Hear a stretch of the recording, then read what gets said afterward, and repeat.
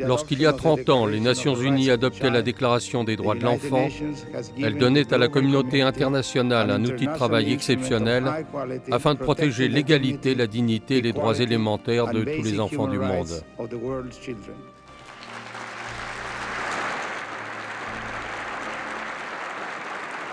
Ce 20 novembre 1989, le monde faisait un rêve, garantir les droits des enfants les Nations Unies voulaient notamment s'attaquer au problème du travail des enfants.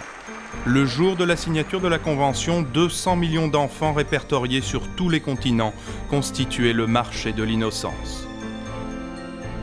Dix ans plus tard, malgré cette convention, les organisations internationales ont recensé plus de 250 millions d'enfants au travail, 500 millions de petites mains au service de l'économie mondiale.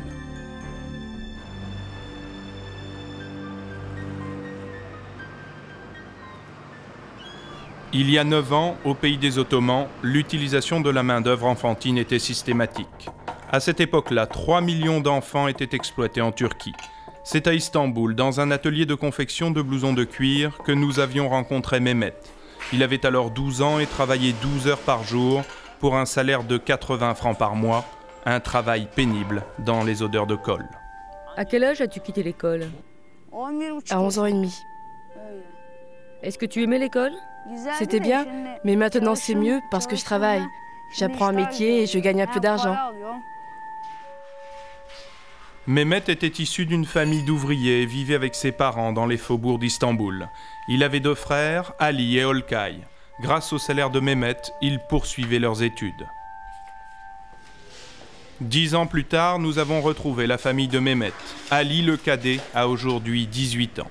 Mehmet, lui, est à l'armée, deux ans de service militaire, loin de sa famille, à qui il téléphone régulièrement.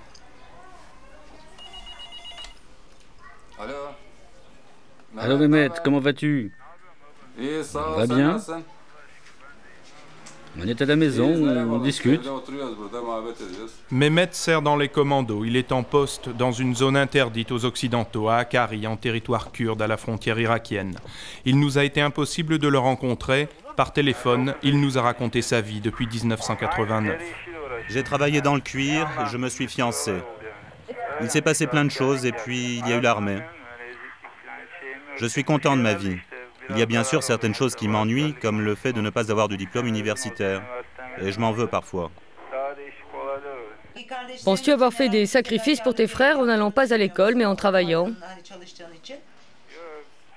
Non, qu'ils aillent à l'école, qu'ils aient un certain niveau, pour moi, c'est l'essentiel.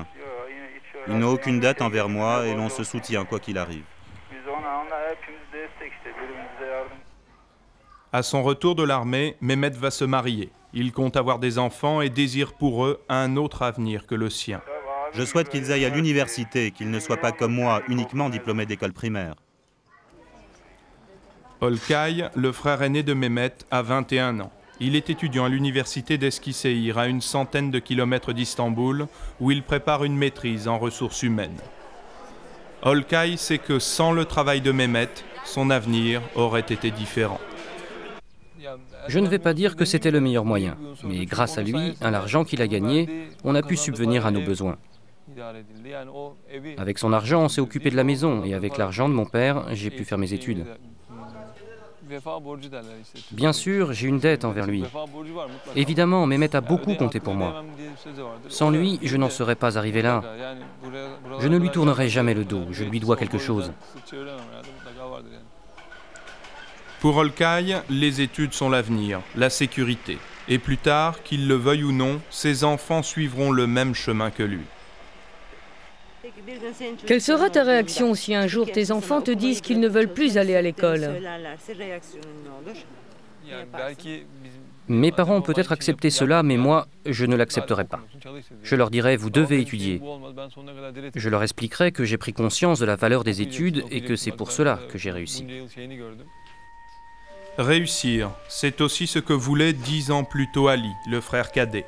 Il était alors en cinquième, une seule chose comptait pour lui, les études. Moi, je veux continuer à étudier. Tu ne veux pas travailler? Je veux aller à l'école comme mon grand frère. Que feras-tu plus tard? Avec mes diplômes, je pourrais choisir le métier que je veux. Oui, mais celui qui travaille gagne de l'argent. D'après moi, il vaut mieux aller à l'école et pas dans un atelier. Est-ce que tu as l'impression, toi qui vas à l'école, d'être plus intelligent que ton frère, celui qui va à l'atelier? Oui, parce que moi, j'aurai le choix plus tard. Ali, qui voulait aller à l'université, a quitté le lycée il y a un an, sans passer son baccalauréat. Depuis, il est homme à tout faire dans un hôtel pour touristes à Istanbul, mais il ne regrette rien.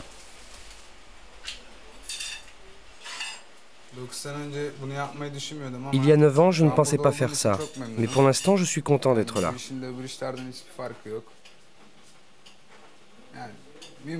Il n'y a pas de différence avec les autres boulots. Le plus important, c'est de travailler.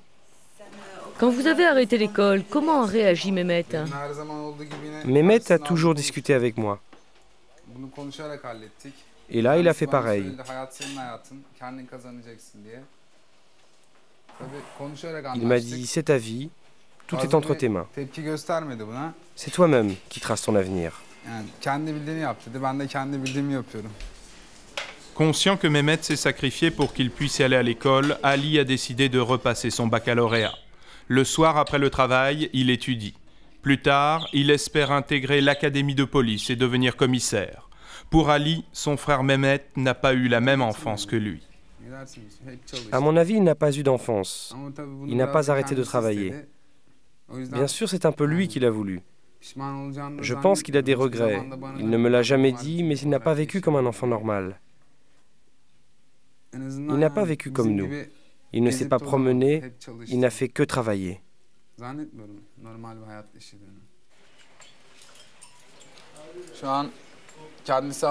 Pour l'instant, il est à l'armée et la seule chose que je puisse faire, c'est de l'appeler, de lui demander comment il va. Je lui écris, je ne le laisse jamais seul. Bien sûr, pour l'instant, c'est tout ce que je peux faire. Mais quand il entrera, tout comme il l'a fait pour moi, je l'aiderai. Mehmet, c'est toute ma vie, c'est mon sang.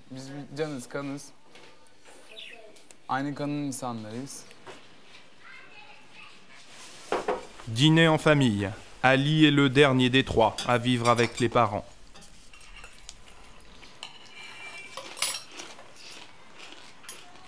Vos trois enfants ont-ils les mêmes chances dans la vie? Pour l'instant, ce sont les mêmes. Mais plus tard, on ne peut pas savoir.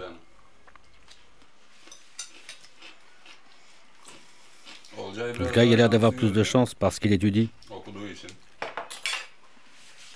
On attend qu'il termine la fac. On verra bien. On ne peut pas savoir. En 9 ans, la situation des enfants au travail en Turquie a évolué. En 1989, un patron n'avait pas le droit d'embaucher un enfant de moins de 13 ans. Depuis 1998, l'âge légal d'embauche est passé à 16 ans, l'école étant obligatoire jusqu'à cet âge-là. Une loi en fait peu appliquée. Dans les rues d'Istanbul, ils sont encore des centaines à fuir l'école pour travailler comme cireurs de chaussures, vendeurs de moules et autres petits métiers. La Convention internationale des droits de l'enfant, signée en 1995 par l'État turc, est loin d'être appliquée dans ce pays. Bayram a 13 ans et demi. Il travaille depuis l'âge de 10 ans et confectionne des boutonnières de pantalons. Pour 10 heures de travail par jour, 6 jours par semaine, Bayram gagne 1000 francs par mois. En Turquie, le salaire moyen d'un ouvrier est de 1200 francs. Chez nous, notre mère reste à la campagne et nous, nous devons travailler ici. Comme nous sommes un peu pauvres, je dois travailler. Aurais-tu voulu étudier s'il n'y avait pas eu ces difficultés? Bien sûr que oui. Dans la même rue, Michael, 12 ans, travaille dans un atelier de confection.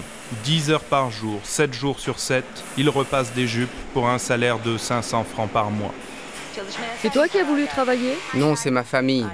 Toi, tu aurais voulu aller à l'école Oui. Pourquoi voulais-tu étudier Je voulais être un grand docteur. Et maintenant, que penses-tu que tu peux être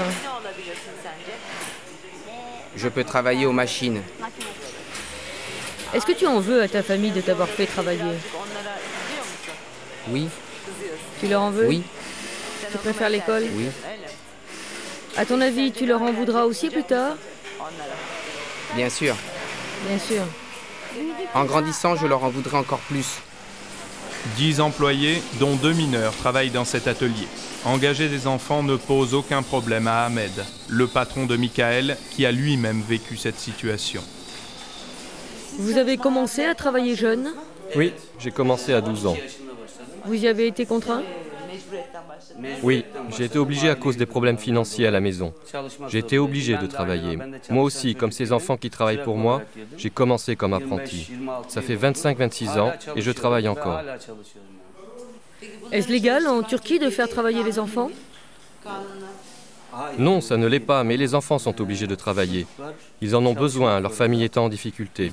Ils sont obligés de travailler car ils n'ont pas assez de ressources. Donc, je les emploie.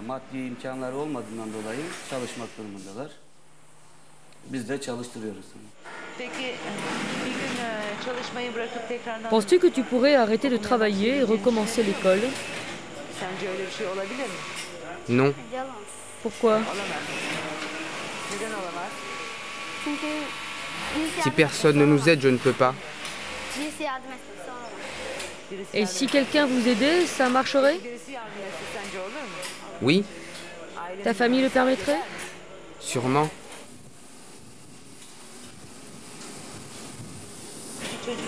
Ce n'est pas fatigant pour un enfant de ton âge de travailler 11 heures par jour?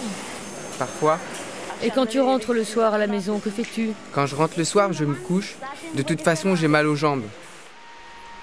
Michael, Bayram, Mehmet et les autres n'auront de souvenirs d'enfance que leur travail. Pourtant, la Turquie d'aujourd'hui affiche dans la rue les paroles d'Atatürk La nation qui n'oblige pas ses enfants à étudier est condamnée à mourir. La postérité n'a pas donné raison au père fondateur de la Turquie moderne. La pauvreté et la tradition sont encore les plus fortes. Mais qui est à blâmer? Il suffit de quitter les rives du Bosphore et de traverser la Manche pour découvrir qu'au sein même de l'Union européenne, certaines économies s'appuient encore sur le travail des enfants. La Convention est en pratique l'un des instruments juridiques les plus largement reconnus dans le monde. C'est une reconnaissance de la justice fondamentale à donner de réels droits aux enfants. Bien sûr, il y a un problème. Nous savons que ces droits sont souvent ignorés et bafoués. Le dixième anniversaire est effectivement pour nous la célébration de cette importante convention. Mais c'est aussi le moment de faire un bilan et de dire comment nous la mettons en œuvre et comment nous rendons concrets ces textes pour les enfants dont les droits ont été bafoués. En Angleterre, l'école et ses traditions rythment la vie quotidienne de la plupart des enfants. Depuis le milieu des années 70, la scolarité est obligatoire jusqu'à l'âge de 16 ans. Mais cela n'empêche pas les petits Britanniques de connaître parallèlement le monde du travail. Combien d'entre vous ont un travail à temps partiel? 7, 8, 9, 10, 13, 14, 14 sur 30. C'est aussi une pratique courante dans cette classe d'enfants de 12-13 ans. Pouvez-vous lever la main, s'il vous plaît, et me dire combien d'entre vous ont un travail à temps partiel Je veux dire un vrai travail rémunéré. Qu'est-ce que tu fais? Je travaille sur un stand de bonbons. Quand? Le samedi et dès que je peux travailler. Tu travailles toute la journée le samedi? 8 heures? Non, de 6 heures du matin à 6 heures du soir. Ça fait 12 heures le samedi. Jonathan, où travailles-tu? Je distribue le Birkenhead News le mercredi. C'est le journal local gratuit. Quel genre de travail fais-tu? Je vends des livres au marché de Liverpool. Pour la première fois, en raison de notre présence, la question du travail a été abordée dans cette classe. Et c'est à sa grande surprise que le professeur découvre que plusieurs de ses élèves ont un emploi en dehors de l'école. On a des lois dans ce pays qui sont censées protéger les enfants face au travail. De toute façon, certains d'entre eux travaillent. Je pense que faire du babysitting le vendredi soir, ça va, ça se passe chez quelqu'un en toute sécurité. Mais certains des autres boulots me semblent bien prenants et très mal payés. Aujourd'hui, entre 2 et 3 millions d'enfants travaillent en Grande-Bretagne. Parmi eux, 40% des enfants âgés entre 10 et 16 ans, des enfants scolarisés pour la plupart. Martin vient d'avoir 12 ans et il travaille déjà dans la quincaillerie de son quartier. 12 ans, c'est en dessous de l'âge minimum légal pour travailler, fixé à 13 ans par la loi britannique. Mais comme Martin, 25% des enfants qui travaillent n'ont pas l'âge minimum requis. Martin habite depuis toujours tout près de son école dans le quartier de Woodchurch, un quartier défavorisé de la ville de Birkenhead, de l'autre côté de la baie de Liverpool. Dans l'école de Martin, 30% des familles vivent avec l'aide sociale. Il n'est pas rare que les enfants du quartier aient un petit boulot pour aider leur famille. Martin, lui, travaille une heure tous les soirs après l'école et le samedi toute la journée. Va nettoyer les poissons. Cela fait neuf mois que Martin vient travailler à la boutique. Ce qui lui a plu, c'est que la droguerie soit aussi un magasin d'animaux. Aujourd'hui samedi, il est là dès 9h et restera jusqu'à la fermeture à 17h. Martin est presque devenu un ami de la famille de son employeur, qui l'emmène parfois en week-end.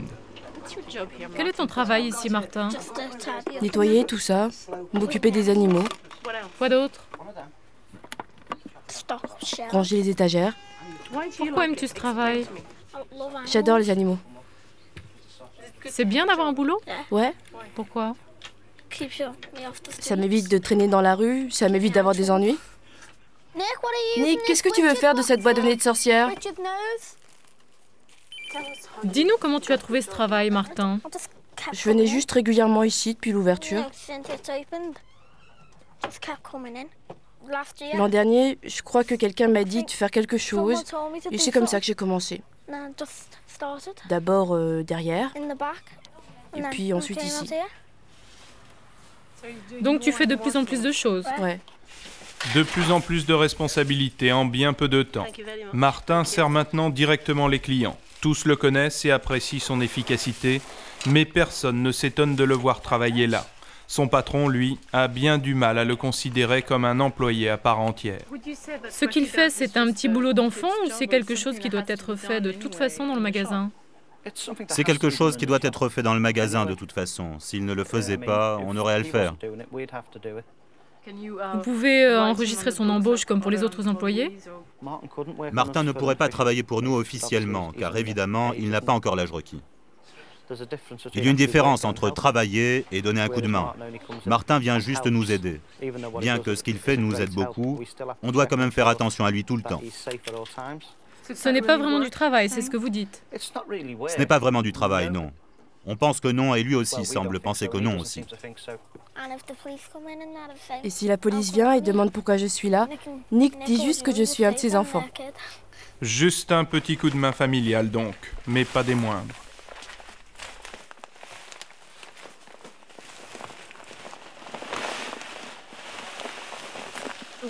Qu'est-ce qu'il y a de plus difficile dans ton travail?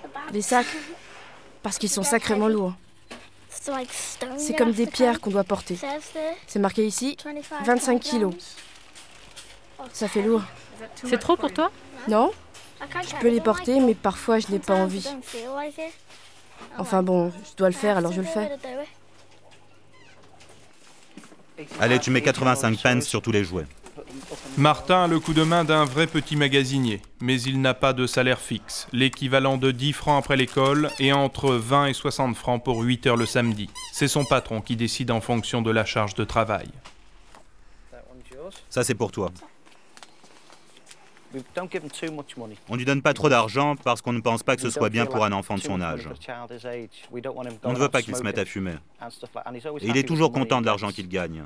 N'est-ce pas, Martin Ouais. Martin a deux frères, Craig, le petit dernier, et Steven, l'aîné de 15 ans. Séparée depuis peu, sa mère élève seule ses trois enfants. Aujourd'hui en arrêt maladie, elle ne travaille plus en ce moment.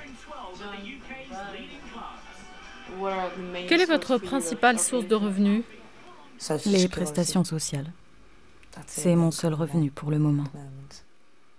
C'est suffisant dans ce pays quand on a trois enfants? Non. Non. C'est rien. Ah bon?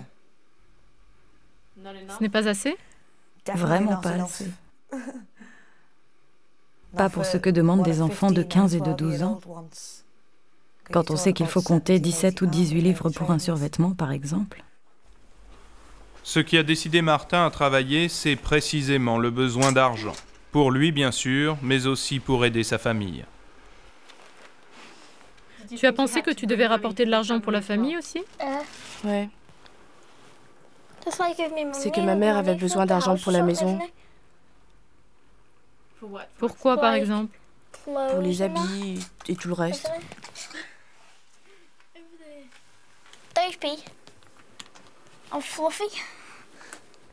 En Angleterre, le travail fait partie de l'apprentissage de la vie et Martin se sent valorisé et respecté. Avant d'avoir ça, personne ne me faisait confiance.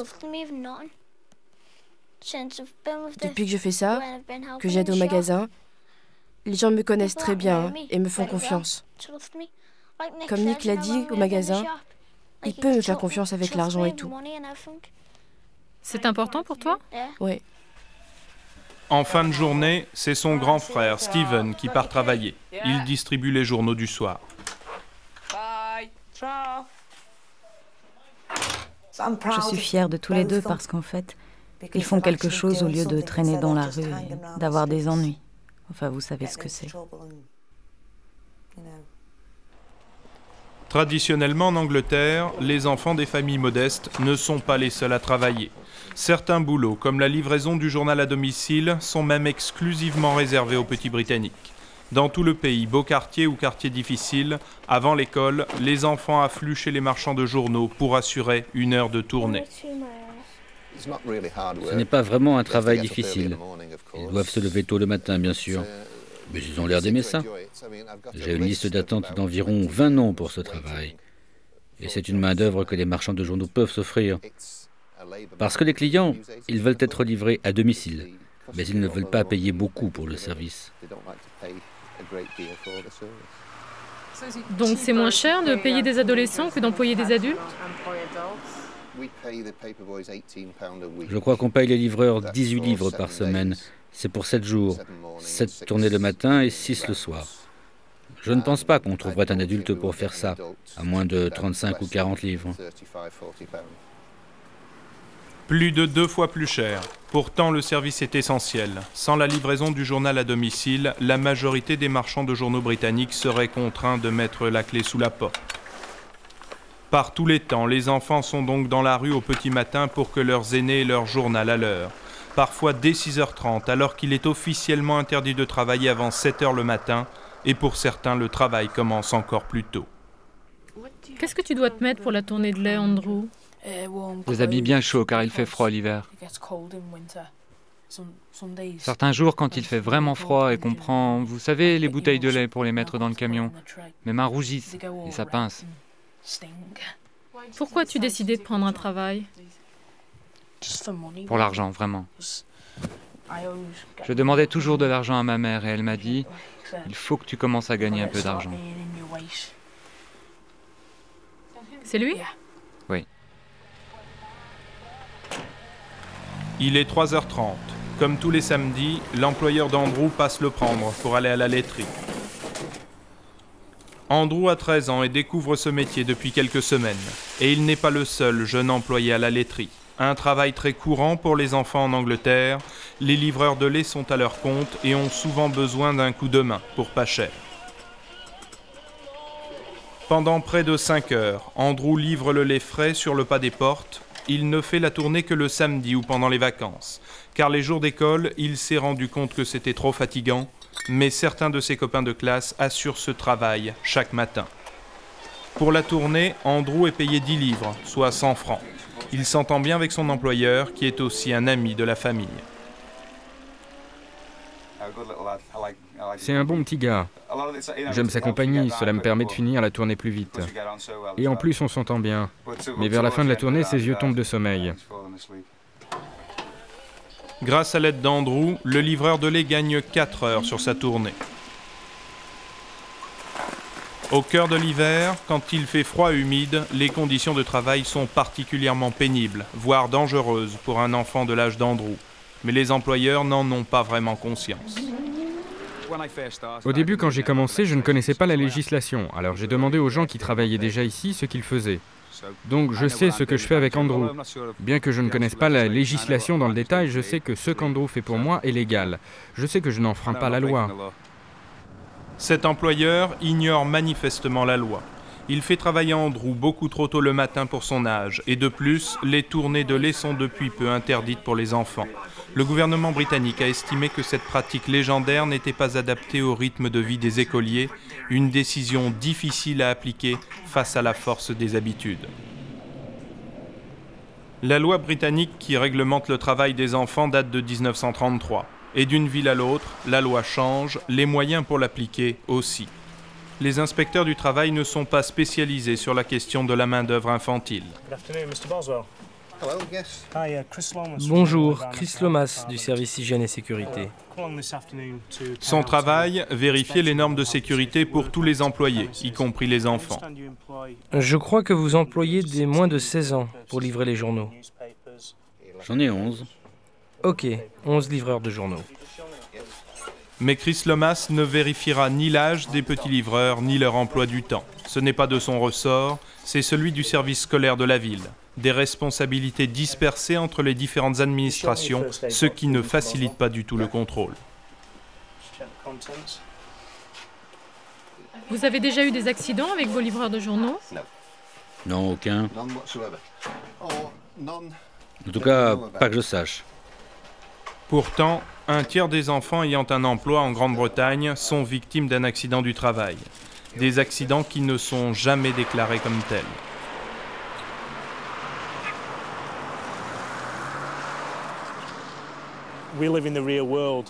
La réalité est ce qu'elle est. On ne peut pas être là à tout moment. Au bout du compte, la responsabilité revient à l'employeur, pas aux autorités locales. Mon travail, c'est de porter ces responsabilités à l'attention des employeurs et de m'assurer autant que possible qu'ils savent ce qu'ils doivent faire. Mais bien souvent, les employeurs ne savent pas ou sont tout simplement sans scrupules. C'est le cas de Craig. À 14 ans, il travaille depuis 6 mois dans un garage tous les week-ends. Un travail totalement interdit pour un adolescent de son âge. Aujourd'hui dimanche, il travaille 5 heures. Les semaines sont bien chargées, près de 50 heures de travail si l'on compte le temps passé à l'école. J'ai école toute la semaine et puis le samedi et le dimanche je travaille. Donc je n'ai pas vraiment de journée à moi où je peux simplement me détendre. C'est dur? Euh, Au début oui. Mais je me suis habitué maintenant, donc ça va. Une des principales responsabilités de Craig, seconder le chef mécanicien pour effectuer le contrôle technique des véhicules. Craig est particulièrement motivé. Mécanicien, c'est le métier qu'il veut faire plus tard. Mais son salaire actuel n'est pas à la hauteur du travail fourni. 10 livres, soit 100 francs par jour, parfois un peu plus en fonction de ce qu'il y a à faire. Tu crois que tu es déclaré comme tous les autres employés? Euh, non. C'est trop compliqué Oui, parce qu'ils ont toutes les taxes et les charges sociales en plus. Moi, je suis payé en liquide et c'est beaucoup plus facile pour le patron de faire comme ça plutôt que de me déclarer. Tu penses que tu es assuré alors en travaillant ici? Je ne suis pas vraiment sûr. Je pense que ça doit être le cas, parce que si quelque chose m'arrive, il faut bien qu'il y ait une assurance. Mais dans les familles anglaises comme celle de Craig, le travail des plus jeunes est souvent accepté sans trop de questions. En fait, Craig n'a aucune assurance puisqu'il est employé illégalement. Et sa mère se doute bien que la situation n'est pas claire. Il ne semble pas y avoir de paiement fixe, bien qu'il ait 14 ans, et je pense qu'il devrait y en avoir. J'ai demandé à son patron plusieurs fois combien il était payé, et il a été un peu vague sur le sujet. Ça fait l'affaire de l'employeur, non Oui, bien sûr. C'est un peu de l'exploitation, oui. Ils obtiennent plutôt pas mal de travail de la part de Craig pour très peu d'argent. Et qu'en pensez-vous? Ça ne me plaît pas vraiment, mais je ne suis pas sûre de pouvoir changer les choses. Il reste donc les syndicats pour tirer la sonnette d'alarme. Mais étonnamment, ce n'est qu'au début des années 90 que la centrale Trade Union Congress a commencé à s'intéresser au travail des enfants. En Grande-Bretagne, on a le marché le plus flexible. C'est un drôle de mot. Le plus tourné sur l'exploitation qui soit. On a les lois antisyndicales les pires du monde occidental. Donc les gens ne voient pas l'intérêt d'adhérer à un syndicat s'il ne peut pas les protéger. La situation est que le marché britannique est ouvert pour l'exploitation de tout le monde, et bien sûr les enfants sont la proie la plus facile. Ils n'ont aucun moyen de se défendre. Il n'y a pas de syndicat auquel ils puissent adhérer. Les syndicats ne recrutent pas en dessous de 16 ans. Face au flou général, cet homme se bat pour mieux informer les petits travailleurs. Il est responsable de l'emploi des enfants pour la ville de Stafford, à une centaine de kilomètres de Liverpool. Malheureusement, dans toute la Grande-Bretagne, seule une dizaine de fonctionnaires comme lui font ce travail à plein temps, et il y a de quoi faire. 75% des enfants qui travaillent en Grande-Bretagne seraient employés illégalement, et la main-d'œuvre infantile y est utilisée de plus en plus pour des emplois d'adultes. Parlons un peu salaire. On va bientôt avoir un salaire minimum dans ce pays. On va avoir une nouvelle règle qui dit qu'on doit gagner tant par heure. Mais qu'en est-il pour les enfants Qui pensent qu'il n'y a pas de limite Oui, vous avez raison. Vous êtes les petits malins. Ils peuvent vous payer ce qu'ils veulent. Alors qu'il y a un salaire minimum pour les grands, il ne va pas y avoir de salaire minimum pour les enfants. Donc, le principal intérêt pour eux de vous employer, c'est que vous n'êtes pas cher. Une main-d'œuvre dont on préfère ignorer l'importance, mais pourtant bien utile pour l'économie nationale. D'après certains chercheurs britanniques, le travail des enfants ferait économiser 4 milliards de francs par an aux employeurs. On pense qu'on est à l'abri dans ce pays. On pense que le problème du travail des enfants se trouve en Turquie ou en Espagne. On ne pense pas qu'on a un problème dans ce pays. Ce n'est en fait pas réaliste pour vous d'appliquer la loi. Je pense que c'est notre problème fondamental. En fait, si on voulait appliquer toutes ces lois et ces réglementations, on serait terriblement impopulaire auprès des parents de chaque enfant dans le pays, auprès des employeurs, des membres du Parlement qui seraient assaillis de lettres se plaignant qu'on empêche les enfants de faire quelque chose qu'ils aiment faire. Je suis d'accord avec ça, mais je pense que certaines des choses qu'on est prêt à tolérer sont de l'exploitation. Mais nous ne sommes pas assez clairs sur ce qui est inacceptable et sur ce qu'il serait vraiment raisonnable d'accepter maintenant pour le XXIe siècle. En attendant que les mentalités changent, Andrew, Craig, Martin et les autres continuent à travailler dans l'indifférence générale. Aujourd'hui, la Grande-Bretagne est l'un des pays de l'Union européenne où le phénomène du travail des enfants est le plus répandu. La tradition des petits boulots à l'anglo-saxonne mène la vie dure aux conventions internationales. Surtout quand la Convention sur les droits de l'enfant n'est toujours pas ratifiée par la plus grande puissance mondiale. Comment les États-Unis se sentiraient-ils concernés par l'enfance au travail alors que l'Amérique semble avoir une confiance aveugle en ses propres lois? Le principe de base est le suivant. À choisir entre la loi fédérale et la loi de son État, l'employeur doit se conformer à celle qui est la plus restrictive. Il existe un certain nombre de différences quant à l'application des lois de chaque État concernant le travail des enfants. Cependant, ces lois ne remplacent pas les lois fédérales, elles les complètent. C'est à la fois aux autorités fédérales et à celles de chaque État de faire respecter la réglementation du travail des enfants à travers le pays. Un dispositif juridique impeccable. Il a pourtant des failles et ne semble pas s'appliquer dans le sud-est des États-Unis. Il est 4h30 du matin dans une petite ville rurale de Floride. C'est l'heure du réveil pour cette famille mexicaine de travailleurs saisonniers. Cela fait deux ans et demi qu'ils sont installés aux États-Unis. Ils ont payé le passage de la frontière 1300 dollars par tête et se retrouvent sans papier. Ce matin dimanche, départ collectif vers l'Orangerie, il y a un quart d'heure de route.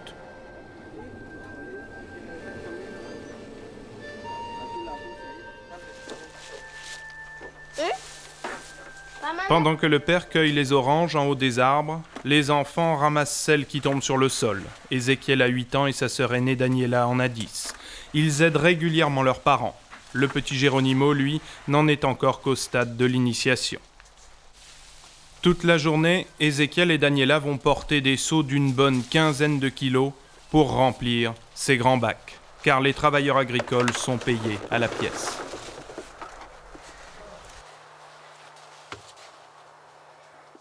Qu'est-ce que tu trouves difficile Transporter les oranges. Ça pèse pas mal, ça? Pas mal. Combien d'heures par jour tu travailles? Ici? Je ne sais pas. Pas mal de temps Pas mal. Et les journées te paraissent longues? Pour moi, oui. Depuis la naissance de la petite sœur, la mère devrait rester se reposer à la maison. Mais elle vient quand même au champ pour donner un petit coup de main à la famille. Ces deux aînés doivent donc travailler particulièrement dur pour compenser ce manque à gagner. Depuis leur arrivée en Floride, Ezekiel et Daniela ont dû travailler tous les jours. Quatre heures plus tard, Daniela commence à peiner, mais se fait vite rappeler à l'ordre. Ézéchiel, lui, garde le rythme.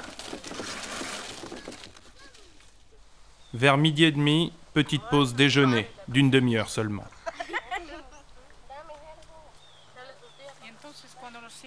Et quand les enfants vous aident comme aujourd'hui, c'est important pour vous? Oui, c'est une grande aide. C'est-à-dire? Parce qu'on gagne plus. On peut gagner un ou deux bacs de plus. Si moi j'en fais 6, quand ils viennent, j'en fais 8. C'est un gain supplémentaire. Ça fait de l'argent en plus. À 9 dollars le bac, cela fait 110 francs de plus par jour. Le travail des enfants est donc loin d'être négligeable. Tu aimes travailler? Pourquoi? En travaillant, on gagne de l'argent. On peut acheter à manger, acheter des choses payer le loyer, l'électricité. Et on donne de l'argent à ma grand-mère et à mon grand-père. Le contremaître de l'orangerie, lui, préfère ignorer le problème de la main-d'œuvre des enfants. Ce n'est pas permis. Pour les enfants, ce n'est pas possible. Les mineurs ne sont pas acceptés ici pour ce travail. Les majeurs de 18 ans, oui, mais pas les mineurs. Mais c'est évident que ça se fait partout. Oui. Mais pourquoi ça se fait alors si ce n'est pas permis Hein? Pourquoi ça se fait si ce n'est pas permis? Comment? Pas que les enfants les aident. Je ne sais pas. Ça dépend du père. Je ne sais pas. Moi, je ne veux pas me mêler de ça.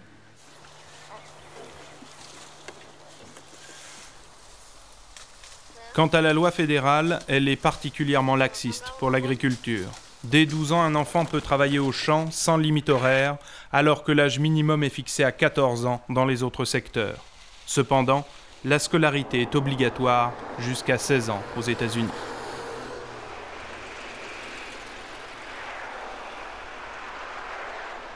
Aujourd'hui, c'est le grand jour pour Daniela et Ezekiel. Pour la première fois depuis leur arrivée en Floride, ils vont s'inscrire à l'école. Une scolarité difficile pour les enfants de travailleurs saisonniers. La moitié d'entre eux quittent l'école avant le bac. Vous avez les papiers des enfants que vous allez inscrire, comme le certificat de naissance. Je peux les voir, s'il vous plaît? Dans quelle classe es-tu? Elle est au niveau CE2. Elle est en CE2, d'accord. Donc tu parles un peu anglais, oui? Ah, c'est bien. Dans cette école, 47% des élèves sont des enfants d'ouvriers agricoles hispaniques. Quel genre de livres as-tu emprunté Beaucoup de livres. C'est bien. Ezekiel, tu aimes les livres C'est ici qu'on vient pour les emprunter. Et regarde, on a aussi des ordinateurs que vous pouvez utiliser ici. Ezekiel va avoir 9 ans dans quelques semaines. Il est encore en CP, cela m'inquiète. C'est peut-être parce qu'il n'a pas été à l'école. La mère a dit qu'il avait redoublé. Mais il ne devrait pas être en CP à 9 ans. S'il avait été à l'école régulièrement, il devrait être au moins en CE1 maintenant. Ce qui m'ennuie, c'est que je ne pense pas qu'ils aient été à l'école. Vous pensez qu'ils ont manqué l'école pour aller travailler? Soit ils ont beaucoup bougé et ne sont jamais restés assez longtemps quelque part pour s'inscrire à l'école, soit il se peut qu'ils aient travaillé.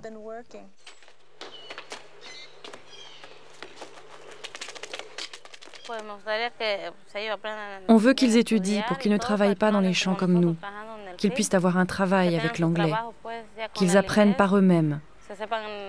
Cela dépend d'eux. Mais c'est aussi pour d'autres raisons que la mère de Daniela et d'Ézéchiel envoie ses enfants à l'école.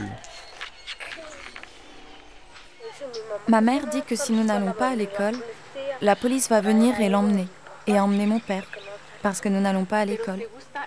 Mais tu aimes étudier? Qu'est-ce que tu penses du fait d'aller à l'école? C'est important ou pas? Oui, c'est important parce que si l'immigration vient, on doit savoir l'anglais. Parce que sinon, si on ne sait pas l'anglais, ils nous renvoient au Mexique.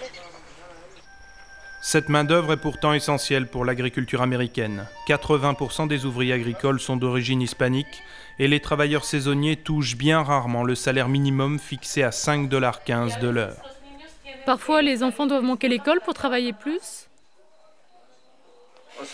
Eh bien, quand on travaille comme ça dans les champs, il y a des fois où on gagne plus ou moins d'argent, non? Et alors bon, on leur fait manquer l'école deux ou trois jours dans la semaine et on les emmène. On demande la permission avec un certificat médical comme quoi ils sont malades ou quelque chose comme ça, et ainsi on les emmène au champ. Quand vous avez besoin de plus d'argent Oui, parce que les salaires sont très bas. Ça vous paraît juste que les adultes payent si peu Si peu d'argent Non. Je veux qu'ils payent plus. Qu'ils payent plus pour qu'on n'aille plus travailler. Ça vous plairait de ne plus aller travailler Oui, oui, ça me plairait. À moi Non. Moi, je veux aller travailler. Mais tu vois, c'est parce que sinon, ensuite, on a des problèmes. C'est pour dénoncer le non-respect incessant du salaire minimum dans l'agriculture que Dan Werner consacre tout son temps à sillonner la Floride. Bonsoir, je suis avocat. Voici quelques informations concernant vos droits. Il fait partie d'une association d'avocats spécialisée dans la défense des droits des ouvriers agricoles.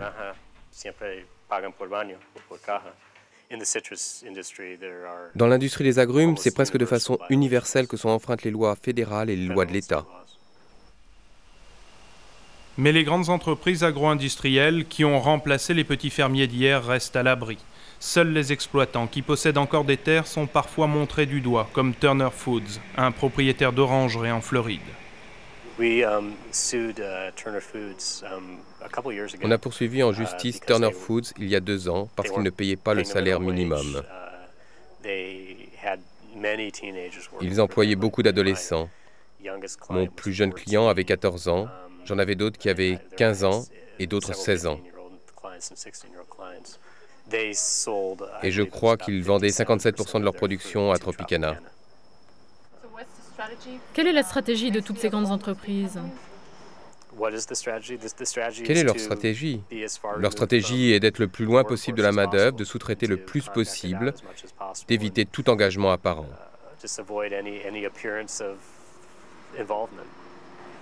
Effectivement, aujourd'hui, Tropicana ne possède plus aucun champ. Mais toutes les oranges qui arrivent à l'usine proviennent exclusivement de Floride. Chaque année, Tropicana achète le quart de la production de tout l'État. Et pour être à la hauteur de son image de marque, le numéro 1 américain du jus d'orange se targue d'envoyer des inspecteurs chez tous ses fournisseurs. Ils ont des gens qui vont dans les orangeries pour vérifier la qualité des oranges, pour s'assurer qu'elles sont bonnes à être cueillies. Diriez-vous qu'ils pourraient surveiller que le sous-traitant avec lequel ils travaillent respecte la loi? Je ne sais pas s'ils vérifient ça ou pas, mais ils pourraient le voir. Je veux dire que s'il y avait des enfants qui ramassaient les fruits, ils les verraient certainement. Des inspecteurs exigeants sur la qualité du produit, mais manifestement peu regardants sur la main-d'œuvre. L'État de Floride et la Fédération des exploitants et de propriétaires comme Tropicana appliquent une politique intransigeante à l'égard du travail des enfants qui est hors la loi. Nous travaillons avec l'État et les représentants fédéraux pour en assurer l'application. En 1998, le département du travail de Floride a organisé ou participé à 26 séminaires à l'attention des exploitants et travailleurs agricoles afin de les informer de la réglementation de l'État sur l'embauche et de leur assurer une assistance technique concernant la loi sur le travail des enfants. L'an passé, environ 2300 enquêtes ont été réalisées par le département du travail. Moins d'un demi pour cent de ces enquêtes a conclu à une infraction à la loi concernant le travail des enfants. Le Citrus Board enquête actuellement sur le document de la télévision française. Si des violations ont eu lieu, nous nous mettrons à la disposition des représentants de la loi pour prendre les mesures nécessaires.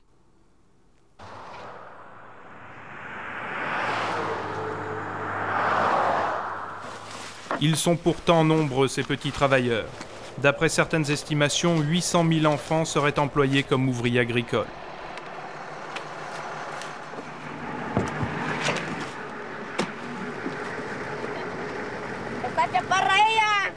Immigrés ou américains d'origine, au total entre 5 et 6 millions d'enfants de 12 à 17 ans travailleraient tous secteurs confondus aux États-Unis, un chiffre qui n'inclut pas le travail illégal.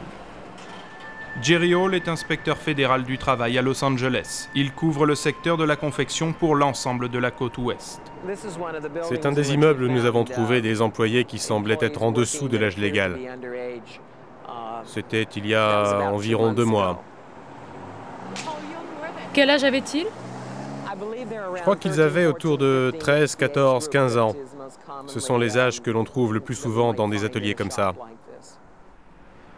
Jerry Hall accepte de nous emmener dans plusieurs ateliers du centre-ville à titre officieux. Une simple visite guidée dans des lieux qui sont actuellement sous la surveillance de ses équipes. Il y a un petit enfant là-bas. Vous voyez le petit enfant à côté de la mère? Et je vais sans doute leur dire quelque chose car je ne veux pas de ça. Ce n'est pas que l'enfant soit en train de travailler, mais le fait qu'il soit là n'est pas une bonne idée. Ce n'est pas illégal, c'est juste déplacé. Bonjour, je suis de l'inspection du travail. Je suis juste un petit peu inquiet de voir cet enfant ici. Je sais qu'il ne travaille pas, mais je n'aime pas le voir ici. Ce n'est pas illégal que cet enfant soit ici, mais c'est illégal s'il commence à faire quelque chose. L'enfant est assis là et puis il va se balader et sa mère va commencer à lui dire tu peux m'attraper ça? elle va commencer à prendre des pièces et à les lui donner et alors on va dire que vous enfreignez la loi parce que l'enfant est de sa mère. Un des employés de l'atelier s'esquive discrètement. A-t-il moins de 16 ans? Est-il sans papier? Manifestement, il n'est pas très à l'aise face à la présence de l'inspecteur. Il y a encore un enfant assis là-bas. Quel âge pensez-vous qu'il est? 10 ans, probablement. Il est assis en train de manger. Il ne travaille pas? Il aurait pu, mais ça n'est pas le cas pour l'instant. L'inspecteur va de surprise en surprise. La petite visite guidée prévue au départ se transforme, malgré lui, en véritable inspection.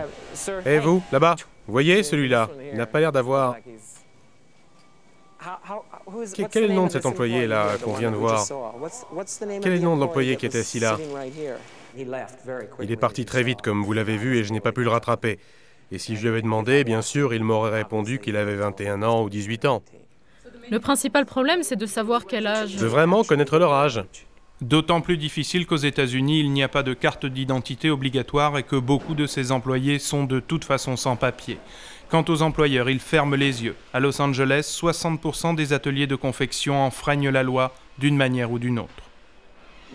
Regardez, il n'y a pas de pointeuse ici pour tous ces employés. Ici aussi, une mère est venue avec son enfant, manifestement encore trop jeune pour travailler. Mais quelques mètres plus loin, un jeune employé est bel et bien à son poste de travail. Quel âge as-tu? 19 ans. Vous devez vous assurer que les gens ont l'âge requis. Je ne parle pas du petit enfant, mais du garçon qui était assis près de la machine. Vous n'avez aucune preuve de son âge. Vous m'avez dit qu'il avait 19 ans, il m'a dit qu'il avait 19 ans, mais je ne le crois pas.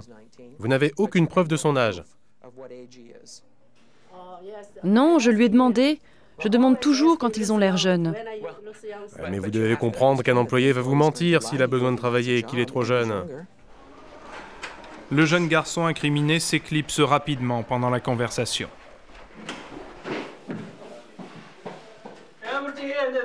Tout le monde ici a un numéro de sécurité sociale, ok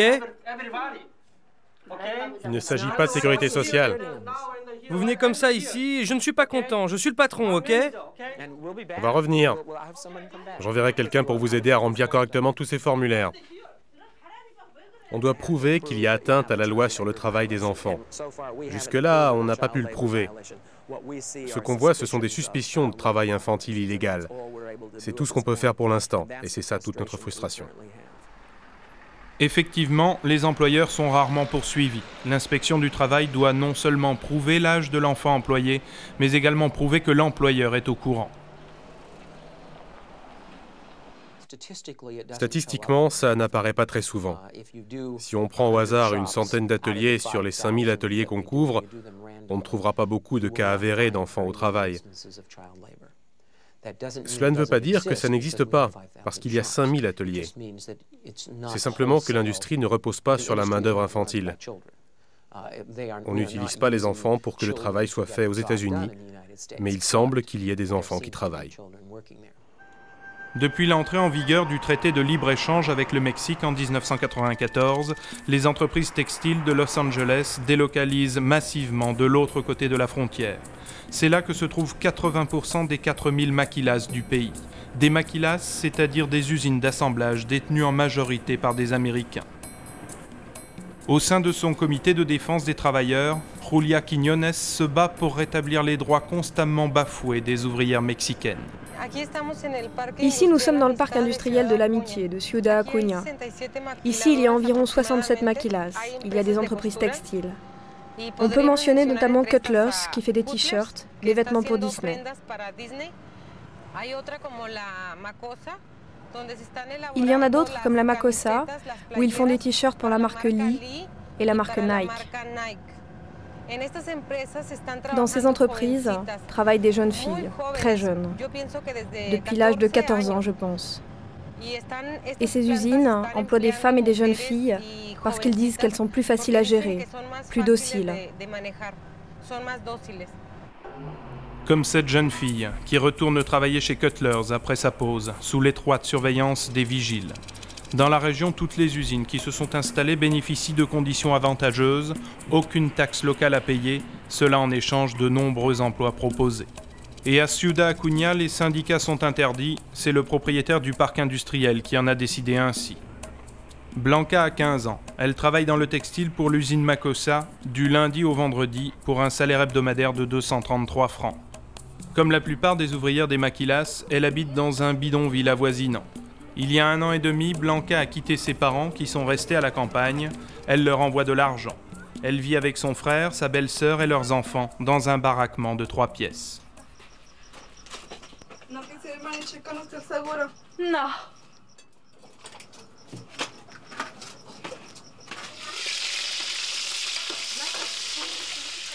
C'est un travail fatigant Oui, parce que toute la journée, je dois rester debout. Toute la journée. Combien d'heures? 9 heures ou 8 heures? Mais les conditions à l'intérieur des maquilas sont comme ce que tu imaginais? Eh bien, non. Pourquoi? Tu peux m'expliquer? Parce que on ne peut pas aller et venir, ni bouger de là où on est. Et on ne doit faire qu'une seule chose, seulement une chose. Moi, je pensais qu'on ferait des choses différentes. C'est un peu plus dur que ce que tu pensais alors. Oui. Pour pouvoir travailler avant l'âge légal autorisé à l'usine, Blanca a dû falsifier son acte de naissance. Ça, c'est mon acte de naissance où on voit que je suis née le 16 octobre, mais en 1983. C'est la copie de celui-là, car celui-ci, c'est l'original. Et il est écrit en 1980. Pourquoi tu as fait ça Pour pouvoir travailler, car ce n'est pas permis qu'un moins de 16 ans travaille. Et moi, j'ai commencé à travailler dès l'âge de 14 ans. Donc il faut falsifier son acte de naissance. Oui. Et il y en a beaucoup qui font ça La majorité, oui. Ou sinon, avec un acte de naissance qui n'est pas le tien, avec un autre nom. Tu peux entrer et travailler à l'usine. Qu'est-ce que c'est C'est un t-shirt comme ceux avec lesquels je travaille. Et qu'est-ce que tu fais comme travail en fait?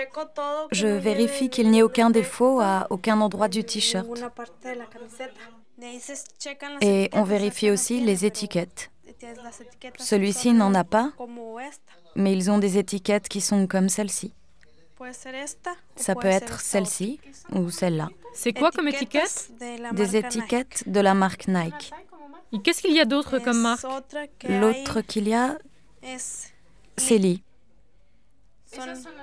Ce sont les marques pour lesquelles tu travailles Pour lesquelles je travaille, oui.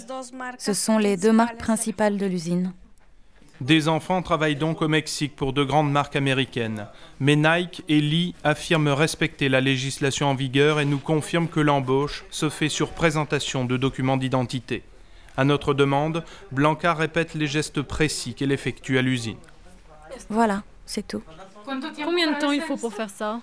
Une minute environ? Ou un peu plus? Et tu dois le faire très rapidement Oui, parce qu'il y a beaucoup de t-shirts à vérifier. Combien? On doit en faire 77 douzaines par jour. Ça te paraît beaucoup ou c'est possible? C'est possible. 924 t-shirts par jour pour 47 francs seulement. Il y a beaucoup de jeunes filles de ton âge? Oui. La majorité de celles que je connais n'ont pas encore 16 ans. Régulièrement, Julia Quiñones vient voir ces jeunes filles chez elle pour les informer de leurs droits. Aujourd'hui, des adolescentes du quartier se retrouvent chez Blanca. Toutes ont commencé à l'âge de 14 ans à travailler dans le textile ou l'électronique. On va donc commencer une nouvelle réunion pour partager un peu ce qui se passe à l'usine, s'il y a eu des problèmes. Ils m'ont fait travailler pendant les vacances, mais ils ne l'ont pas noté et ils ne m'ont pas payé. Non, mais il faut réclamer. Je crois qu'ils doivent payer. Imelda, c'est la première année que tu vas prendre des vacances Oui. Pendant les vacances, d'après la loi, on ne peut pas travailler. Si par exemple ils te font travailler pendant les vacances et qu'ils te payent, tu peux le faire, mais ensuite tu dois réclamer tes vacances. Car tu as travaillé toute l'année, donc tu as besoin de ce temps pour te reposer. Et comment ils vous traitent? Pourquoi ils emploient tant de filles si jeunes? Eh bien, c'est sans doute parce qu'ils ont besoin de nous faire travailler. Ils voient que les plus jeunes peuvent travailler mieux. Elles ont plus d'énergie Oui, plus de force pour travailler et plus de disponibilité. Et vous n'avez pas de problème avec les enfants, car c'est le problème avec les femmes mariées. Oui, elles ne peuvent pas faire d'heures supplémentaires car elles doivent aller chercher leurs enfants chez la nourrice. Mais pour les célibataires comme nous, ce n'est pas un problème. Elles peuvent rester.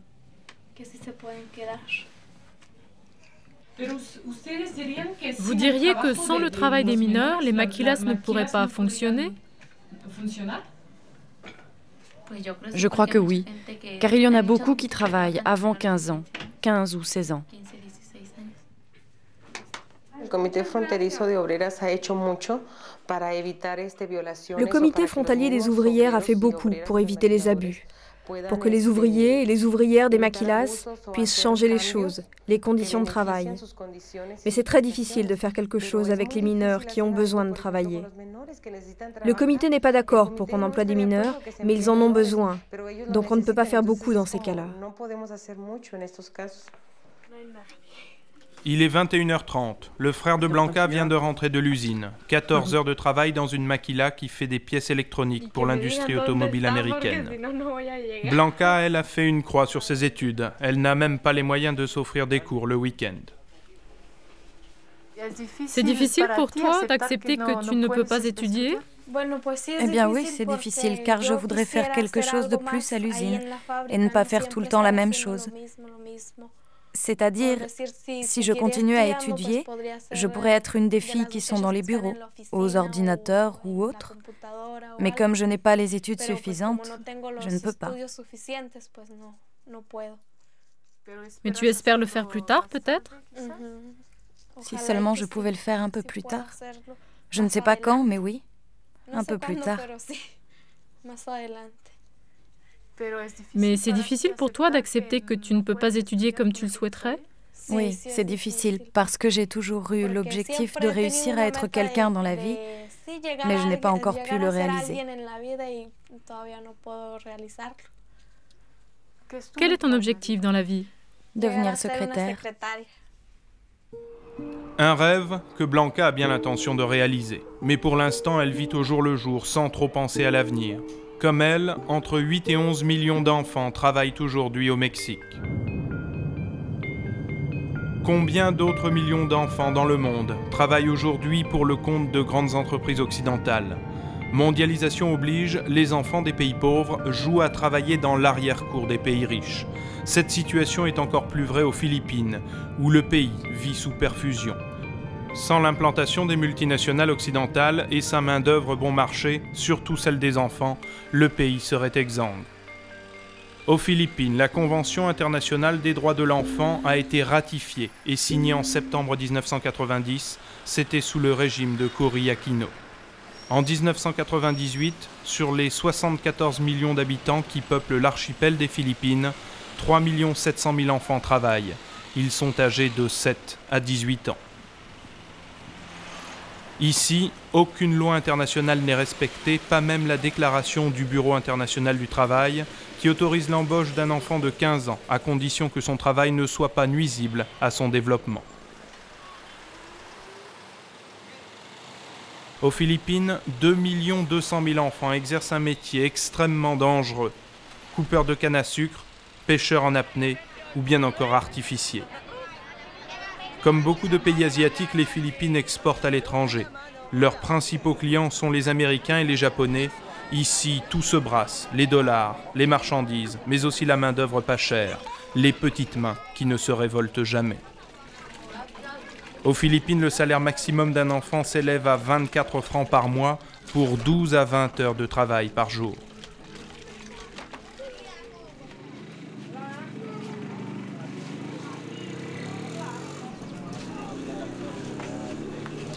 Marilyn Valenciano a 29 ans. Elle représente la fondation Kamalayan Development, une organisation qui s'occupe d'aider et de sortir les enfants du marché du travail.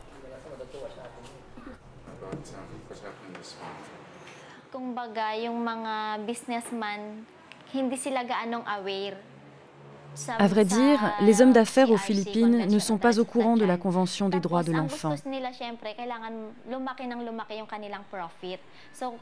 Et puis, ils aiment par-dessus tout que leurs profits s'agrandissent. Les enfants obéissent plus facilement aux ordres, ils ne réclament pas, tandis que les adultes créent des syndicats. Comme les enfants ne se plaignent pas, la convention n'est pas appliquée.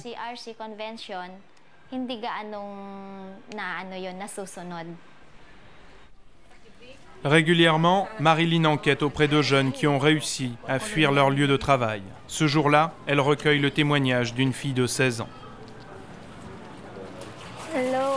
Bonjour, c'est bien vous, Cheryl? Oui. Je suis Marilyn de l'association Kamalayan. Et vous, vous êtes qui? Niro. Vous faites quoi là-bas? On fait de l'emballage et d'autres sont couturières ou mettent des étiquettes. Quels sont les produits que vous fabriquez Nike, Giordano et des jouets. Combien d'heures travaillez-vous par jour 16 heures. Et il arrive que ça dépasse Oui, il arrive que ça dépasse. Jusqu'à combien d'heures On commence à 8 heures du matin jusqu'à... Jusqu'à 2 heures, des fois jusqu'à l'aube. Est-ce qu'il y a encore des enfants comme toi dans l'usine? Il y en a encore de 14, 15 et 16 ans. Subissez-vous des sévices physiques ou moraux? Ils nous insultent uniquement. Ils vous insultent uniquement. Oui, si on fait des erreurs, même petites. Si vous faites une erreur, quelle est la punition? Vous recevez un rapport comme quoi vous ne sortirez pas pendant une ou deux semaines. Est-ce que vous habitez sur place ou non? Oui, on habite sur place. Ah, vous habitez sur place. Comment dormez-vous Dans une petite chambre, on est six et on dort sur un carton sans natte.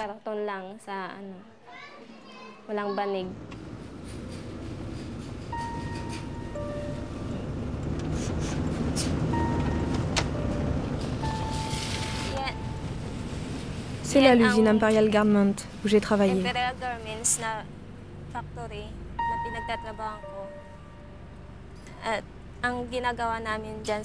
C'est là qu'on fabrique les t-shirts. Giordano. Et Nike, et aussi des shorts. J'ai peur qu'ils me reconnaissent.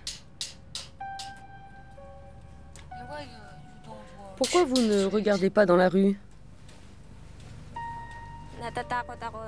J'ai peur qu'ils me reconnaissent et que cela me pose des problèmes. Mais quelle sorte de problème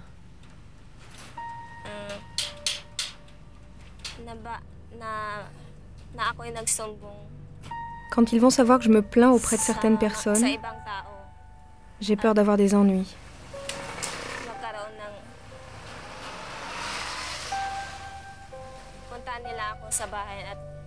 Qu'ils viennent chez moi. Et qu'ils s'arrangent pour me refaire travailler. Alex Apit est avocat. Il est président de Kamalayan Development. Depuis dix ans, il lutte contre l'exploitation infantile, mais Alex Apit se trouve régulièrement confronté au laxisme du gouvernement philippin. Le gouvernement doit donner une éducation à tous, à tous les enfants. Surtout aux enfants pauvres et aux enfants travailleurs. Il faut absolument les retirer des plantations et des usines pour les remettre à l'école. Parce que c'est la meilleure place pour eux. Dans le sud des Philippines, à une heure d'avion de Manille, l'archipel des Visayas. C'est dans cette partie du pays que se trouvent les plus grandes plantations de canne à sucre. 630 enfants âgés de 7 à 17 ans y travaillent. Aux Philippines, les principales productions agricoles sont la canne à sucre, le riz et la noix de coco. Nous sommes au kilomètre 14, un village appartenant à l'une des plus grosses haciendas de la région. Ici, tout le monde vit de la canne à sucre 84 enfants sont dans ce village, 33 travaillent à la plantation.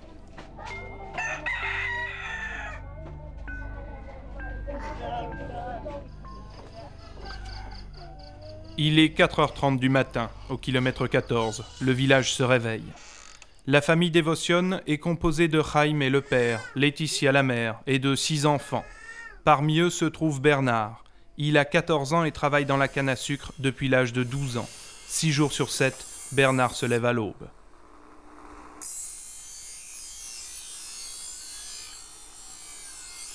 Ces enfants, qui sont en âge scolaire, ne vont pas à l'école, faute d'argent.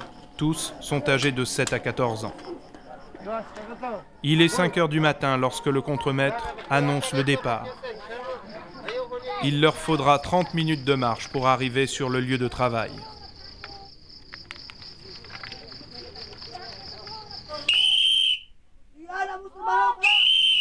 Avant de couper la canne à sucre, les travailleurs doivent désherber entre les cannes, un travail pénible. Pour désherber, les enfants sont tout le temps pliés en deux, une position qui durera 10 heures.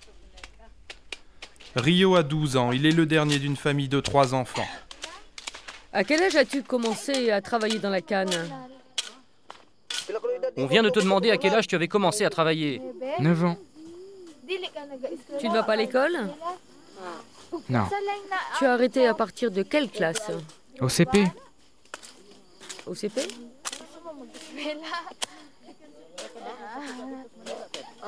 Oui, parce que nous sommes pauvres. Tu ne trouves pas que ton travail est pénible Rio ne répond pas. Comme tous les enfants de la plantation, Rio gagne un franc par jour pour 11 heures de travail, un salaire qu'il donne à ses parents.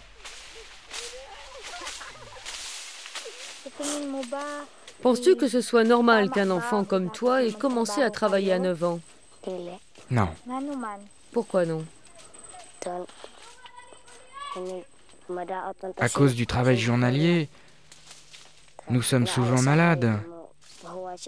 Et parfois, on n'a que un, deux ou trois jours pour se reposer. Tu penses qu'il y a d'autres enfants pauvres? En Europe et aux États-Unis qui travaillent comme toi?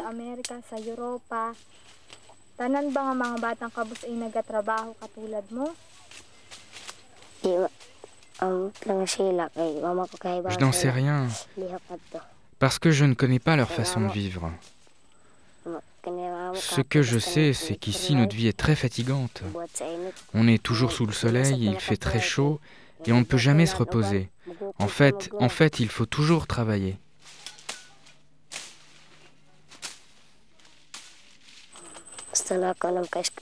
Aujourd'hui, j'aimerais juste aller à l'école.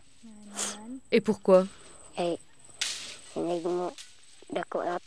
Quand je serai plus grand, je ne trouverai pas de travail parce que je n'ai pas d'éducation. Maritès dévotionne à 13 ans.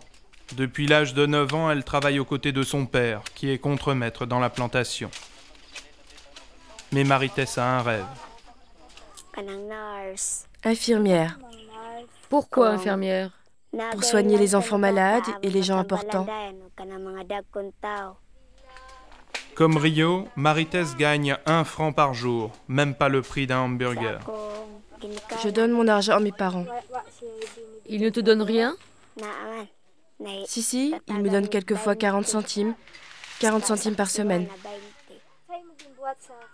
Comment dépenses-tu ton argent Je m'achète quelque chose à manger. Il est une heure, c'est la pause déjeuner. Tout le monde rentre au village, à nouveau 4 km à pied. À midi, Maritès n'aura qu'un bol de riz comme repas qu'elle partage avec sa petite sœur.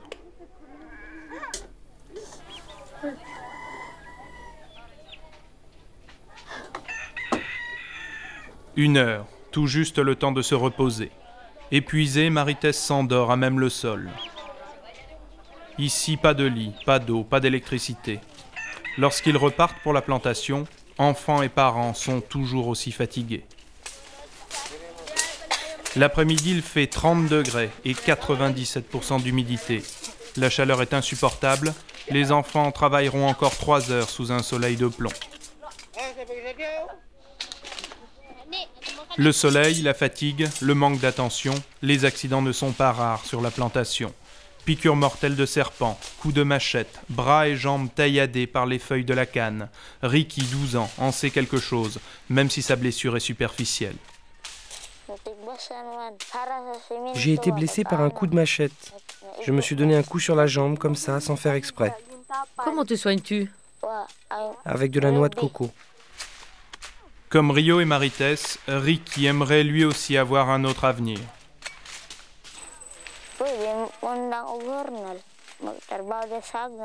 Vous savez, moi j'aimerais bien arrêter mon travail de journalier. C'est un travail beaucoup trop fatigant. Vous voyez ici, il fait beaucoup trop chaud. Et puis nous passons toute notre journée à couper, à désherber autour de la canne. On fait ça tout le temps et on ne se repose jamais. Qu'est-ce que tu aimerais faire comme travail? Taxi.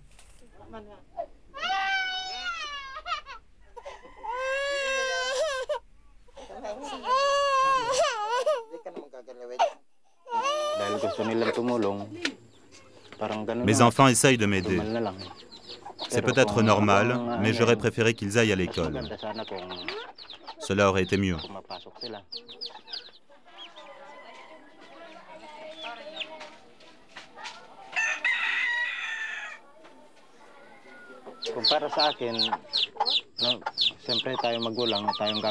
Nous, parents, nous devons guider nos enfants, simplement pour qu'ils ne commettent pas les mêmes erreurs que nous quand ils auront une famille, et qu'ils envoient, eux, leurs enfants à l'école.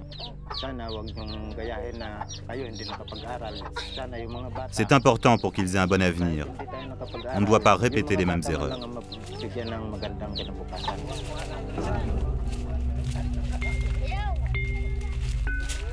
Ces erreurs, le Pakistan essaie aujourd'hui de les corriger. Montré du doigt depuis plusieurs années, le pays est passé d'une mauvaise presse à une mauvaise conscience. Le travail des enfants continue, mais la volonté des autorités pakistanaises, alliée à la vigilance des organisations internationales, ont fait naître des espoirs dans plusieurs régions du Pakistan. Le travail des enfants doit maintenant s'accompagner d'un début de scolarisation. Je me dois d'être optimiste, car le problème touche nos enfants, qui représentent la moitié de notre population. C'est pour cette raison que nous allons nous assurer que dans l'avenir, nos enfants recevront le meilleur traitement possible. Nous avons eu jusqu'à présent un succès considérable. Le Pakistan est aujourd'hui encore engagé dans un grand défi. Nous espérons pouvoir continuer à soutenir le fort engagement de tous les acteurs de notre société. Et j'espère qu'avec le soutien de la communauté internationale, nous réussirons à atteindre nos objectifs. C'est en novembre 1990 que le Pakistan a signé et ratifié la Convention internationale des droits de l'enfant. Au Pakistan, l'école n'est pas obligatoire et de toute manière, l'infrastructure ne suit pas. Sur 36 millions d'enfants, seulement 13 millions bénéficient d'une scolarité. 3 500 000 enfants âgés de 5 à 18 ans travaillent dans les rues, dans l'industrie du tapis, dans les briqueteries ou encore comme domestiques. Dans la région de Sialkot, 7000 enfants de 7 à 14 ans sont employés dans l'industrie du ballon. Pour tenter d'éradiquer cette exploitation, le Bureau international du travail a décidé de mettre en place un programme de protection et de réhabilitation de l'enfant. Au fond, ce programme a été lancé pour répondre à la pression des médias à l'encontre de cette industrie. Les industriels ont eu peur que ce secteur soit mis en péril si des mesures d'ajustement n'étaient pas prises pour éliminer le travail des enfants. Pour ce qui est de la protection sociale, nous essayons de procurer aux enfants qui ont travaillé dans l'industrie du ballon la possibilité d'être éduqués. Et cela se traduit sous forme d'écoles formelles ou informelles. Depuis 1997, le Bureau international du travail a mis en place dans la région de Sialkot 154 centres scolaires qui regroupent environ 3000 enfants. Ces centres ont été construits dans les villages reculés de la province, là où il n'y avait pas d'école.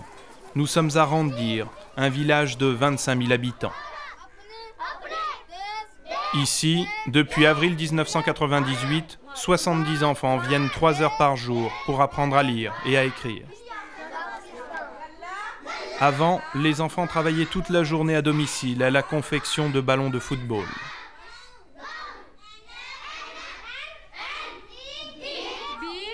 Radia a 15 ans et fait partie d'une famille de 9 enfants. En créant des centres scolaires, l'objectif est de pouvoir à plus ou moins longue échéance éradiquer le travail des enfants. En attendant, si Radia vient à l'école le matin, L'après-midi, elle continue à aider sa famille dans l'assemblage des ballons de football. Razia travaille 5 heures par jour et assemble dans une journée un ballon et demi pour la somme de 28 francs. Tu n'aimerais pas avoir du temps libre pour jouer? Est-ce que tu as du temps libre pour t'amuser? Non. Tu n'as pas de temps libre? Tu n'as pas envie de jouer à la poupée comme les autres filles À l'école, j'en ai l'occasion. Qu'est-ce que tu voudrais faire plus tard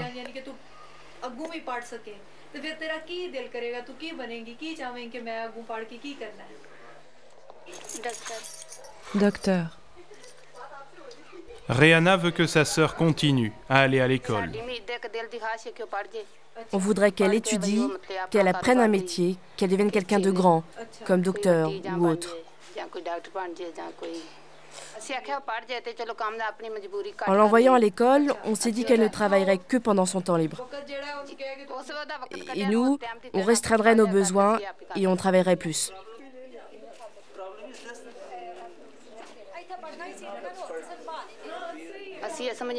Bien sûr, nous sommes dans la nécessité, mais nous espérons que leur situation sera meilleure en allant à l'école et que les choses s'amélioreront pour eux. Les parents sont dans le besoin, mais il est de leur devoir de ne pas laisser leurs enfants dans ce besoin. Ils doivent étudier pour devenir médecins, enseignants ou autre chose, et trouver un emploi leur permettant de s'en sortir et qu'ils puissent lancer un jour leur propre affaire. 75% de la production mondiale de ballons de football est produite à Sialkot. Près de 40 millions de ballons cousus humains sont exportés chaque année. Depuis février 1997, un accord a été signé entre l'Organisation internationale du travail, l'UNICEF et la Chambre de commerce de Sialkot. Dans cet accord, les industriels de la ville s'engagent à ne pas faire travailler dans les usines des enfants de moins de 14 ans. Ils ont également accepté que des contrôleurs du Bureau international du travail viennent régulièrement vérifier qu'aucun enfant ne se trouve dans les unités de fabrication. Ali est inspecteur. Il vient contrôler que les industriels respectent leur engagement. Je n'ai pas seulement un rôle d'inspecteur, j'essaie ici d'avoir des contacts avec les travailleurs pour les encourager à nous dire s'ils constatent que des enfants travaillent dans l'usine. Je les incite en fait à nous informer. Notre objectif, c'est de travailler en collaboration avec eux. On vient leur expliquer que c'est ensemble que nous devons combattre le travail des enfants.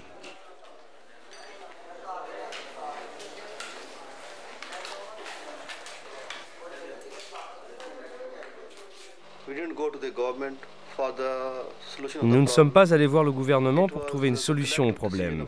C'est une décision commune des industriels. Nous nous sommes démenés pour surmonter ce problème.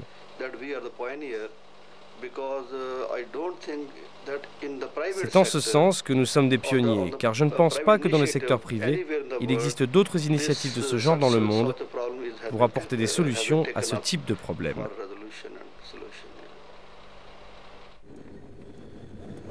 Si des industriels ont décidé de combattre le travail des enfants, tous n'ont pas suivi. En effet, à Sialkot, sur 95 usines de confection de ballons de football, seulement 35 participent au programme du Bureau international du travail.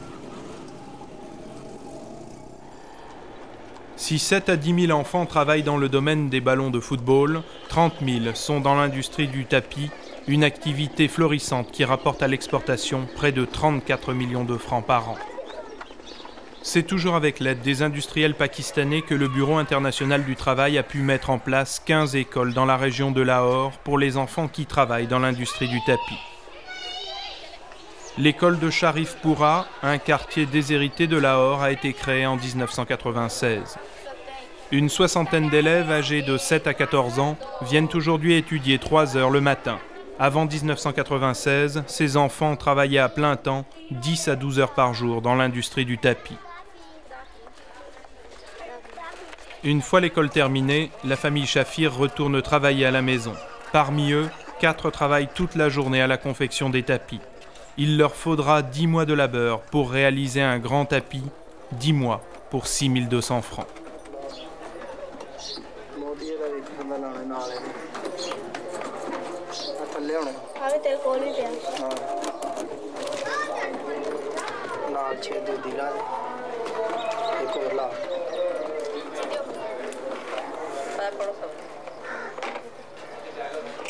Mes parents aussi étaient pauvres. Ils ne pouvaient pas nous offrir une éducation et donc nous n'avons jamais étudié. De même, nous n'aurions pas pu envoyer nos enfants à l'école si on ne nous avait pas donné ces facilités. Maintenant, ils étudient. Avant, aucun de nos enfants n'allait à l'école. Pensez-vous que l'éducation soit importante? Oui, l'éducation, c'est important. Pourquoi? Parce que nous, nous n'avons pas étudié, et de ce fait, on ne peut rien faire d'autre. On ne peut pas être employé dans un bureau, on ne sait même pas écrire notre nom, on ne sait rien. C'est pourquoi nos enfants apprendront quelque chose, ils connaîtront les bonnes manières. Si par la suite ils veulent enseigner, ils le pourront. Le fait d'être éduqué, cela sert même au quotidien, à chaque instant de la vie. Pensez-vous que lorsque vos enfants seront grands, ils voudront tisser des tapis ou faire autre chose? Non, ils ne feront pas de tapis, ils feront autre chose. On les dirigera vers d'autres domaines car nous aussi on en a assez maintenant. C'est vraiment une maladie. Notre fils aîné est malade d'avoir trop travaillé sur les tapis. Il a des problèmes de vue.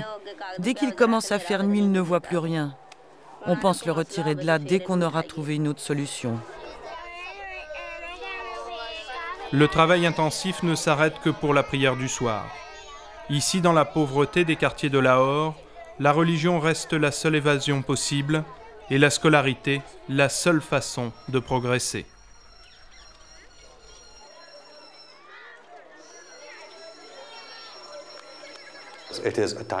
C'est un processus à long terme, car il faut que nous changions la société, et ce n'est pas facile.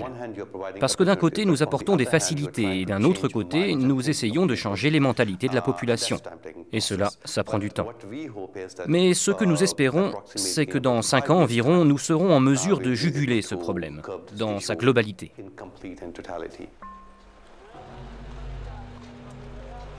Au Pakistan, si 3 500 000 enfants ont été recensés comme travailleurs, il y en a 19 millions dont on ne sait rien.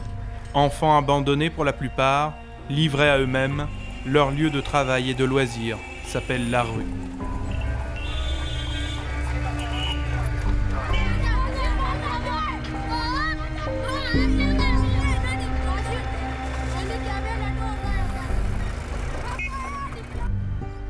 En 1990, le Portugal ratifiait la Convention des droits de l'enfant. Un an plus tard, dans la région de Braga, au sud du pays, nous avions filmé plusieurs enfants qui, en infraction avec la législation européenne, travaillaient pour aider leurs familles. Hier comme aujourd'hui, l'un d'entre eux redevient le porte-parole de ces centaines de millions d'enfants sacrifiés pour toutes les bonnes raisons du monde. C'est ici que j'ai débuté ma carrière à l'âge de 11 ans.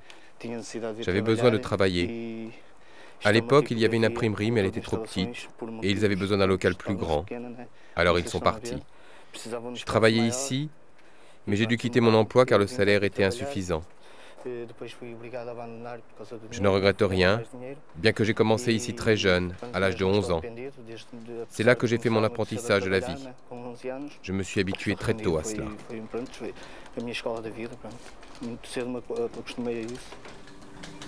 Pedro travaillait dans cette imprimerie du lundi au samedi. À cette époque, un patron avait le droit d'embaucher un mineur à partir de 14 ans. Pedro en avait 13. Chaque jour, il parcourait 10 km à vélo pour rejoindre sa maison. Une masure avec une pièce unique où s'entassait sur un sol en terre battue une famille de 8 enfants. Souvent malade, le père ne travaillait que très épisodiquement. Pedro pourvoyait seul aux besoins de la famille.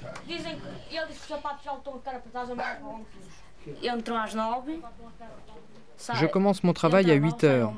Je termine à midi et je reprends à 14 heures pour finir à 20 heures. Trouves-tu normal de travailler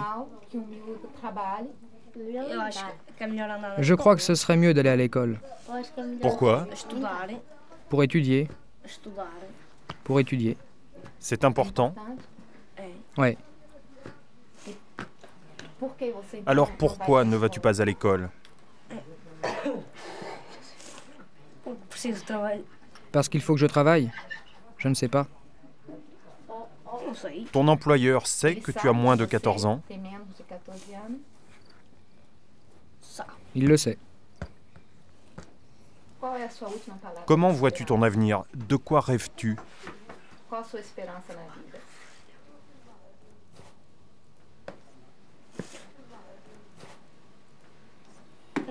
Je ne sais pas. Très tôt, j'ai dû affronter les réalités de la vie. Ça ne m'a servi à rien de rêver. Je n'ai pas de rêve. Et même si je voulais en avoir, je ne le pourrais pas. J'ai vécu très tôt une vie très dure qui m'a ôté toute envie de rêver.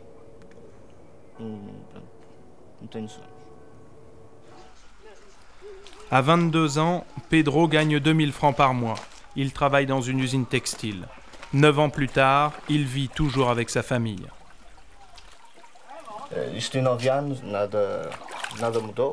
En neuf ans, comme vous pouvez le constater dans cette maison, rien n'a changé. Voici ma chambre. Lorsqu'il pleut, l'eau s'infiltre dedans par tous les trous que vous voyez là.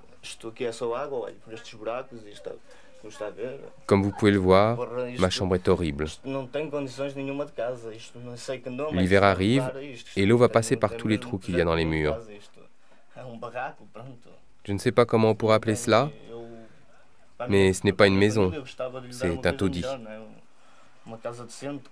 J'aimerais offrir à ma famille quelque chose de mieux. Une maison décente avec électricité, eau courante et toutes les commodités que celle-ci ne possède pas. Je suis sûr que certains animaux ont des maisons plus belles que celle-ci. Nous sommes pauvres et rejetés. En neuf ans, rien n'a été fait.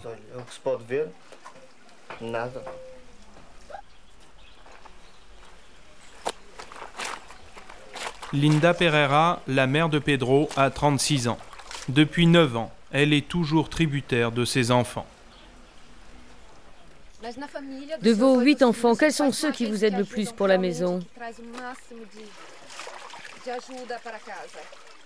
Ceux qui travaillent, car ils rapportent à la maison l'argent qu'ils gagnent.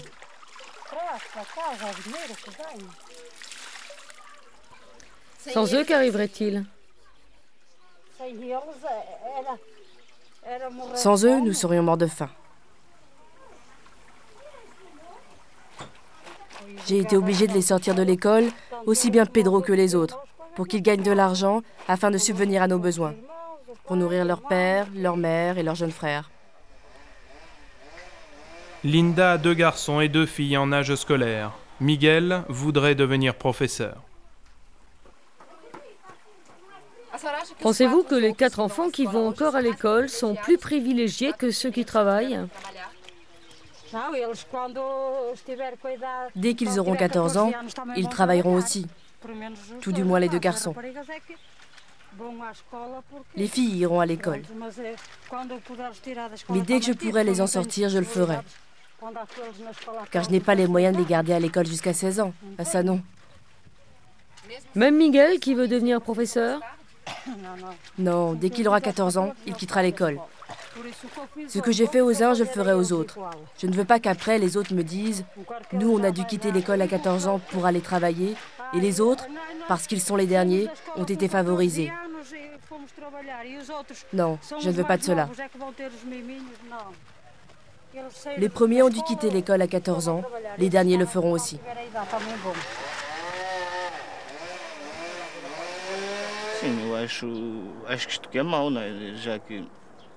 Je pense que ce n'est pas bien. Nous sommes trois à travailler, puis un quatrième qui fait son service militaire. Elle aurait pu les laisser continuer l'école. Nous aurions fait un effort pour surmonter nos problèmes financiers. Le fait de sortir de l'école à 14 ans avec un niveau scolaire de CM2 ne va pas arranger leur futur.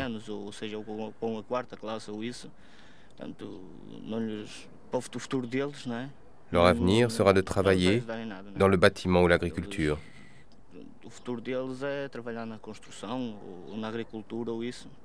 De nos jours, le niveau CM2 ne vaut rien. Gloria et Miguel sont écoliers au collège d'Urgèze. Au Portugal, depuis 1997, l'école est devenue obligatoire jusqu'à l'âge de 15 ans. Ce collège rassemble 1000 élèves. Ici, comme dans beaucoup d'autres écoles de la région de Braga, 15% ne termineront pas l'année scolaire, la plupart iront travailler pour assurer la survie de leur famille.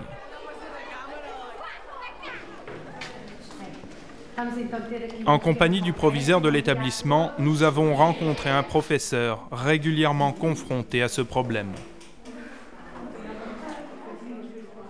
Je ne peux pas vous donner des chiffres concrets, mais je suis convaincue qu'au minimum 20% des élèves ne termineront pas l'année scolaire. Généralement, ils partent travailler. Le travail des enfants reste illégal, mais il reste toujours des cas graves d'exploitation d'enfants. Souvent, ils travaillent à la maison sans que les inspecteurs s'en rendent compte. Ou alors, ils travaillent dans les usines. Lorsque les inspecteurs arrivent, les enfants sont cachés et ils ne les voient pas. Le Portugal fait partie de l'Union européenne depuis 1986. Pourtant, ce n'est seulement qu'en 1997 que l'âge légal d'embauche est passé de 14 à 16 ans. Un premier pas pour se conformer à la législation européenne. Mais selon les statistiques, 200 000 enfants travailleraient encore sur des chantiers, dans des usines textiles ou à domicile. Enfant au travail, Pedro l'a été un passé douloureux, une enfance perdue, à jamais gravée dans sa mémoire.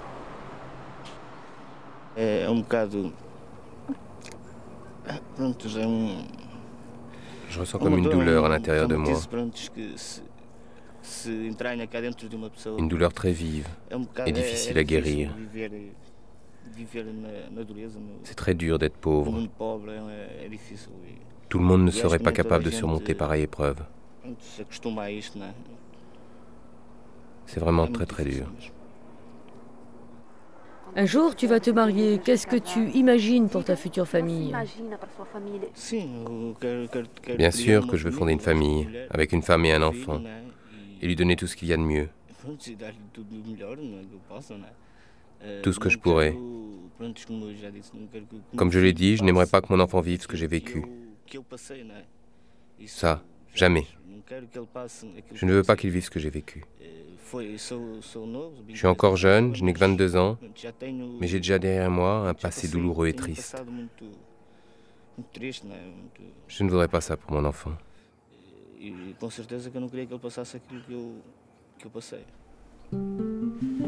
Aucune convention ne rendra à Pedro et aux millions d'autres enfants leur jeunesse sacrifiée. Il y a dix ans, la convention entérinée par 161 pays prévoyait que les enfants devaient être protégés contre toute exploitation abusive au travail. L'ordonnance existe, il reste toujours à trouver le remède.